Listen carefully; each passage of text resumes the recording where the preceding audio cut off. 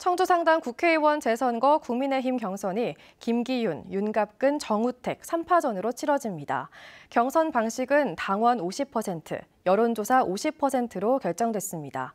군소정당과 무소속 주자군의 교통정리도 빨라지고 있습니다. 신병관 기자입니다. 청주 상당 국회의원 재선거에 나설 국민의힘 후보가 경선을 통해 결정됩니다.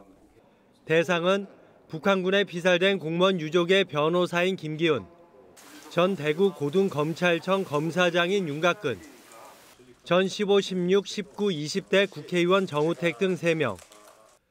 경선은 오는 10일 진행되며 당원 선거인단 투표 50%와 국민 여론조사 50%를 합산해 후보가 결정됩니다. 완전 국민 경선이 아닌 당원 표심이 절반을 차지하는 만큼 당심 공략이 더욱 중요해졌습니다. 청주 상당의 책임 당원은 1,800여 명. 이 가운데 이준석 대표 선출 당시 새로 가입한 당원 등이 또 다른 변수로 꼽히고 있습니다. 경선으로 국민의힘 공천 경쟁에 불이 붙은 가운데 군소정당과 무소속 주자들의 교통정리도 빨라지고 있습니다. 어제 마감된 국민의당 공천 신청에는 김현문 충북 도당위원장이 단독으로 신청했습니다.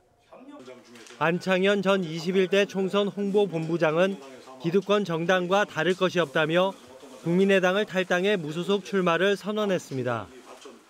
반면 정의당은 대선에 집중하고 상당 재선거는 공천을 하지 않는 쪽으로 방향을 잡은 것으로 알려졌습니다. 오는 10일 충북도당 대의원 대회에서는 범진보 진영 후보가 나올 경우 어떻게 지원할지가 논의될 전망입니다. 국민의힘의 독주냐, 민주당 무공천의 공백을 노리며 다자구도가 형성되느냐, 출마와 불출마가 엇갈리는 가운데 정확한 대진표는 오는 13일과 14일 후보 등록이 끝나야 짜여질 것으로 보입니다.